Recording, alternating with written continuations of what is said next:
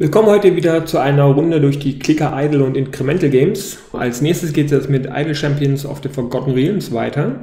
Wir sind inzwischen bereits im Storyteller Weekend, wo natürlich hier die dann jetzt gebufft sind und es wieder eine neue Kiste gab. Aktuell bin ich jetzt noch auf einer Free-to-Play-Mission oder einer Free-Play-Mission, um weitere Camps Favors einzusammeln. Mal gucken, wie weit seid ihr jetzt bei 2%. Ähm, mehr ist an sich nur sehr, sehr schwierig möglich und Bevor ich jetzt gleich resette, habe ich hier schon mal den ersten Hinweis, weil es ist so, dass Starlax Bonus, ähm, ich dachte immer, der wäre tatsächlich ganz am Anfang irgendwie ähm, additiv gewesen. Das heißt, bei 2,10 hoch 11 machen 10% mehr oder weniger dann auch nicht viel aus. Aber inzwischen ist der multiplikativ. Das heißt, dass der Goldbonus Mal gucken, ob ich eigentlich hier auf der Kampagnenkarte sozusagen den regulären Bonus sehe. Ähm, genau, also bei dem normalen ähm, Top of Annihilation hätte ich einen Goldbonus von knapp 4 hoch 10. Und tatsächlich habe ich jetzt einen Goldbonus von 2 hoch 11. Also etwa das Fünffache was eben dadurch zustande kommt, dass er hier mehrere Gold-Upgrades hat, also hier 10, 20, 30, 40, 50, 60 Prozent. Okay, könnte eigentlich nicht so weit hinkommen, aber egal, keine Ahnung, welche Boni da sonst noch dazukommen. Im Moment ist es auf jeden Fall so, ähm, dass das ganz gut passt, einfach da überhaupt noch ein bisschen mehr Gold einzusammeln weil im Moment ist eben weiterhin meine Schwierigkeit, so über Area 200 tatsächlich hinauszukommen, auch obwohl es jetzt natürlich diese weiteren Boni gibt, ist irgendwie ziemlich anstrengend. So, mal schauen, was habe ich denn jetzt? Ähm, es gab natürlich wieder Events, Achievements, ähm, so, Recruit Bivin, Evelyn. Evelyn hat man, glaube ich, beim letzten Mal ähm, das heißt, Bibin Dragon Down ist neu dazugekommen. Und äh, Rekrut Deakin. Äh, Deakin war jetzt der letzte für das Founders Day und das ist jetzt auch vervollständigt. Das heißt, das ist alles komplett. Es gab neue Missionen. Mal gucken, gucken wir mal in die Companion-Karte für Tomb of Annihilation. Da müsste es hier drüben weitere gegeben haben von denen ich die, von denen ich auch noch nicht alle gespielt habe. Also hier Grand Puzzle habe ich noch nicht freigeschaltet, weil ähm, Arena 225 bin ich jetzt noch nicht angegangen. Hier habe ich die 200 zumindest gemacht, aber den 225er habe ich auch noch nicht gemacht. Genau, also ihr seht, hier habe ich jetzt noch keine vervollständigt. Ähm, dann genau, Kir Sabal, das ist das, was neu freigeschaltet wurde. Ähm, und das war der Ort, der noch, genau, Captured war der Ort, der danach gekommen ist. Hier habe ich zumindest die beiden äh, Standard-Sachen schon abgeschlossen, aber auch hier die 225er bin ich noch nicht weiter angegangen. Das heißt, da stehen noch einige weitere neue ähm, Steam-Errungenschaften auch aus, wovon ich aktuell jetzt 45 von 69 habe. Das heißt, da sind noch einige Missionen, die im Moment auf mich warten. Dragon Down ist vorbei und auch Founders Day ist schon erledigt. Ah, Moment, ich muss noch meine Kisten auspacken. Ich habe ja das eine Achievement noch nicht vervollständigt. Also, räume ich mal mit euch hier gleich schon mal die Kisten auf.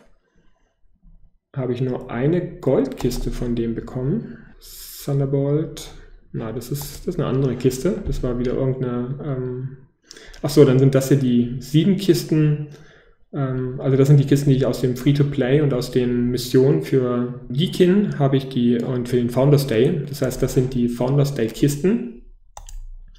Und das heißt, da habe ich insgesamt sieben Goldkisten und sieben normale Kisten mit den Free-Play-Missionen und den drei normalen Missionen bekommen. Naja, dann packe ich die jetzt mal mit euch aus. Ähm, mal gucken, was er jetzt alles so für Gegenstände bekommt. Zumindest ähm, drei Slots sind jetzt schon ausgestattet. Das ist jetzt der vierte. So, das ist dann der fünfte. Dann fehlt eigentlich nur noch ein Item. Okay, damit ist auch der ähm, sechste Slot ausgerüstet. Genau, damit ist die Errungenschaft auf jeden Fall fertig. So, dann machen wir hier jetzt mal die Kisten noch zu Ende. Und schauen uns mal an. Genau, also das Doom Equipment ist jetzt abgeschlossen. Das hat dann soweit geklappt. Jetzt sind tatsächlich alle fünf davon abgeschlossen. Ähm, was wie gesagt mit dem 1% ist es recht angenehm, dass man da keinen großen Bonus verliert, wenn man die jetzt nicht vervollständigt hatte bisher und sich das dann recht überschaubar ausnimmt. So, Storyteller Weekend kann ich zumachen. Jetzt kann ich hier noch ein bisschen was äh, aktivieren. Mal gucken, ob die eigentlich ein bisschen weiterkommen noch, ähm, während ich mich mit euch unterhalte. Also im Moment sieht zumindest ganz gut aus, dass sie hier ähm, noch ein bisschen Schaden machen, aber ich denke nicht, dass sie da jetzt allzu weit kommen. Und vor allen Dingen, ähm, die sind ja schon ziemlich lange unterwegs, das heißt, da kommt auch nicht mehr allzu viel Bonus dazu. Jetzt machen wir mal noch mit den Kisten weiter. Packen wir mal noch die weitere, das dürfte die nächste Wochenendkiste gewesen sein. Die hat auch wieder für den Gear Gear drin. Okay. Gucken wir mal, was er jetzt noch an größerer Ausrüstung bekommt. Hoffentlich kriegt er auch so ein paar blauen, noch ein paar epische dabei, wobei ich noch nicht weiß, ob der eine sinnvolle Fähigkeit hat, die ich tatsächlich weiter nutzen würde. So, da hat er jetzt zumindest ein grünes Upgrade noch bekommen. Okay, hier ist noch eins weiter auf grün aufgestiegen. Ha, da hat er sein erstes ähm, episches. Und das ist sogar auf, ja, erst auf blau und dann auf episch letztlich. Das dürfte das gleiche Teil sein. Gut, noch eine blaue Aufwertung. Noch eine. Das heißt, es war nur ein episches Item dabei. Alle anderen sind zumindest jetzt bis blau aufgestuft, immerhin. Aber mal sehen, ob der ähm, ja, sinnvoll ist, dann einzusetzen. Ich kann ja mal austauschen. Er steht ja in der zweiten Reihe. Muss ich dann nur ähm, ja, genug Upgrades kaufen. Die Skin Store if Doom now affects all champions in the formation oder increased by 50% but it still only affects ejected Crusaders. Ja, das kann ich ruhig machen, weil ähm, Birdsong steht ja direkt neben ihm. Und dann mal schauen, wie es im Wechsel aussieht. Also jetzt bekomme ich 1 hoch 64, naja, so in der Dreh, je nachdem, ob sie halt gerade noch jemanden gekillt hat. Wir haben jetzt 1 hoch 63, Okay, ist kein sehr großer Unterschied. So, was ich aktuell noch mache, ist ähm, den letzten Autoclicker hier zu holen. Ähm, also zumindest der, der über die äh, grünen Gems zu bekommen ist und nicht auf jeden Fall als DLC gekauft werden muss, weil die anderen drei sind als, auf jeden Fall als DLC für 10, 15 und 20 Euro zu kaufen. Und der hier eben für 50.000. Was, wenn ich das äh, in Kisten umrechne, also wenn ich mir anschaue, hier in den Kisten oder bei den Kisten, kann ich ja eine Gold-Chest kaufen, drei würde es für 5 Dollar geben und wenn ich dann also umrechne, bei 10.000 äh, komme ich so auf 20 Kisten, was dann irgendwas zwischen 20 und 25 ähm, Dollar entspricht. Und das heißt, bei 50.000 wären das 100 Kisten. Das heißt, hier ähm, sozusagen der Gegenwert äh, im Vergleich zu dem, was ich an Rubies für Kisten ausgeben müsste oder um halt ähm, dort das gleiche zu bekommen, wären über 100 Dollar. Aber es dauert im Endeffekt vom Grinding her auch ziemlich lange, die 50.000 zusammenzubekommen. Und dann bin ich mal gespannt, weil mit drei Monsterklickern, die man, ähm, also im Moment benutzt es ja nur um zwei bevorzugte Crusader dann ständig aufzuleveln. Das ist einmal Bürzung, mein DPS und dann eben Jalax für die Goldboni, wo ich sie normal aktiv habe. Aber wenn ich dann alle drei hier im Spielfeld aktiviere, sollte es dann der Fall sein, dass sie auch automatisch die Gegenstände einsammeln, weil sonst klicken sie halt nur die Monster an, aber die Gegenstände werden erst mit der Zeit eingesammelt. Und jetzt kommen wir noch zu einer Neuerung. Also ihr seht hier schon das neue Symbol. Ihr habt auch auf der Karte schon, äh, wenn ihr das gesehen habt, also neben diesem Waterdeep Dragon heißt, ich weiß gar nicht, ob der beim letzten Mal schon da war, auf jeden Fall gibt es hier eine neue permanente äh, Kampagne. Aber was es auf jeden Fall auch noch gibt, sind jetzt die Time Gates. Die erste Runde habe ich schon erledigt. Ähm, das heißt, es ist jetzt schon wieder, ich glaube, zwei Wochen oder hat sogar drei Wochen gedauert, ähm, bis das wieder von alleine freigeschaltet wird. Also jetzt habe ich noch zwei Tage, ähm, um nochmal solche Gates zu machen. Und ähm, die andere Möglichkeit ist dann nach und nach ähm, Gate Pieces von Bossen ähm, zu sammeln Allerdings kann man die nicht gut farmen, sondern die haben sehr, sehr langen Cooldown. Ich glaube irgendwie so, dass man nur einen alle 12 oder 24 Stunden überhaupt finden kann. Also von daher, ähm, da extra was zu machen, wird sich kaum lohnen, sondern einfach dann, wenn man sie voll hat, kann man eben so ein Gate auch vorzeitig öffnen, bevor diese Standard-Cooldown ähm, dann ein neues Gate ermöglicht. Und wie funktioniert das jetzt mit den Gates? Also ihr seht, ich habe hier jetzt drei zur Auswahl. Und da besteht einmal die Möglichkeit, dass eben die Champions, die man eben irgendwie verpasst hat, weil man bei den Events nicht dabei war oder es nicht weit genug geschafft hat, also Founders Day komplett, Dragon Down komplett, Great Maroon March, ähm, Running, Greengrass, äh, Greengrass ist eins der drei, die jetzt gerade da sind. Also da habe ich alles komplett. Würde sich also wenig lohnen. Mal schauen, was der jetzt für eine Ausrüstung hat und ob ich ihm eine bessere Ausrüstung, auch wenn ich ihn nicht nutze, äh, verpassen möchte. Okay, er hat ein episches, drei, grün, äh, drei blaue und einen letztlich nur auf grün. Das heißt, für den Narak wäre es auf jeden Fall interessant, da äh, zumindest hier noch ein blaues, äh, sind sogar noch zwei auf grün, also hier noch blaue zu bekommen. Wen hat man noch außer Narak? Genau, Greengas und Sim Simril Event. Ähm, gucken wir mal, wie weit ich da gekommen bin. Gucken wir mal, Simril. Hier. Also bei Simril fehlt mir hier noch ein 175er in Free Play. Das sollte zumindest zu schaffen sein, weil ähm, also man hat eben die Möglichkeit dann mit der ersten Mission den Champion freizuschalten. Dann hat man noch zwei Missionen, wo man Goldkisten bekommen kann. Und wenn man diese Missionen alle geschafft hat, dann kann man Free Play machen und versuchen dort noch ein paar Tokens zu sammeln. Und ähm, ich weiß gar nicht, ob man auch noch eine Kiste bekommt. Ich glaube schon, aber werden wir gleich mal sehen weil ich werde dann auf jeden Fall dieses Mal Simriegel machen, weil eben hier habe ich ja auch schon alles abgeschlossen und ich hoffe, dass ich dann die 175er noch vervollständigen kann. Open time gate to Dadios. The other two time gates you don't choose will become unavailable until the next set of time gates. Ja, also ähm, ihr könnt eben nur eins von den dreien auswählen und die könnten eventuell beim nächsten Mal wieder dabei sein oder auch nicht. Weil natürlich werden die irgendwie zufällig ausgewählt. Ich weiß nicht, ob die zufällig für alle ausgewählt werden. Weil was auch noch dazu kommt, ähm, also hier habe ich hier jetzt eine 50er und eine 75er. Ähm, also gehen wir erstmal weiter. Ja. Äh, genau, also ihn muss ich jetzt nicht freischalten. Ich weiß gar nicht, wie es aussehen würde, wenn ich ihn erst noch freischalten müsste. Also jetzt kann ich erstmal die 50er spielen, um die erste Kiste zu bekommen. Danach äh, kann ich die hier machen und dann kann ich Free Play. Dann kann ich nämlich diese Mystra Favors sammeln. Allerdings lohnt sich das deutlich, deutlich, deutlich weniger als die normalen ähm, Events. Das heißt, da könnt ihr dann durchaus überlegen, wenn ihr die beiden habt und nicht allzu viel Freeplay machen wollt. Genau, also ihr könnt keine Kisten, ihr könnt dann nur die Favors von ihr noch einsammeln. Ja, jetzt muss ich natürlich erstmal das andere ähm, beenden, bevor ich dort äh, einsteigen kann.